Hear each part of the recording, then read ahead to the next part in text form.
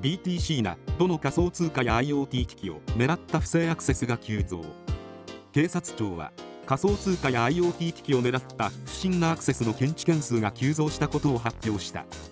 イーサリアムネットワークを標的とした宛先ポート 8545TCP に対するアクセス等も観測している。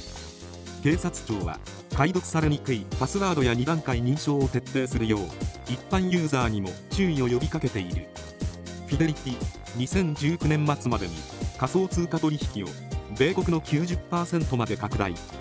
機関投資家などを中心にサービスを展開する世界最大級の金融機関フィデリツ・インブストメンツは仮想通貨取引サービス展開にあたり2019年末までに米国の90%に提供することを明かした。また取扱通貨に関する懸念点も説明。今後の市場を見る上で重要なニュースに。エトロ。仮想通貨取引をアメリカで開始。世界最大規模のソーシャルトレード投資プラットフォームエトロは米時間7日米国32州においてビットコインやイーサリアム XRP など主要13仮想通貨銘柄の取引提供を開始することを発表した。また独自の仮想通貨取引所エトロックスを2019年内に発足していくことも明らかにした。CEO のアッシア氏は上記の金融商品などを元にステーブルコインのようなトークンを発行しそれを直接仮想通貨と取引できる環境を目指していると述べている。ビットコイン先物と市場下落を考察。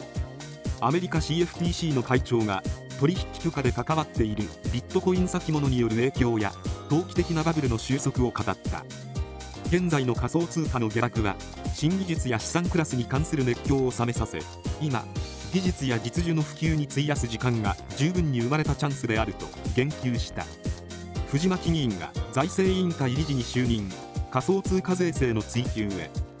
藤巻武議員は参議院財政委員会で理事になったことを発表。所得税法に関する質疑では安倍総理や麻生大臣に仮想通貨税制についても追及していくとしている。